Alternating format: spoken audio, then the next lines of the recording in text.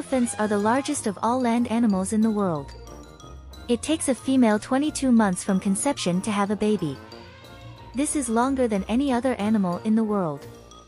A newborn elephant can stand up shortly after being born. They can weigh up to 260 pounds. The average lifespan for an elephant in the wild is from 50 to 70 years. The oldest known elephant in the world lived to be 82 years of age.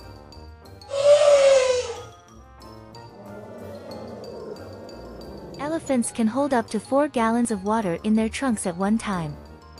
The back part of the elephant's ears is called its knuckles, and it's known as the softest part of their body. There are only three species of elephants, the African savanna elephant, African forest elephant, and the Asian elephant. African elephants have large ears shaped like the continent of Africa.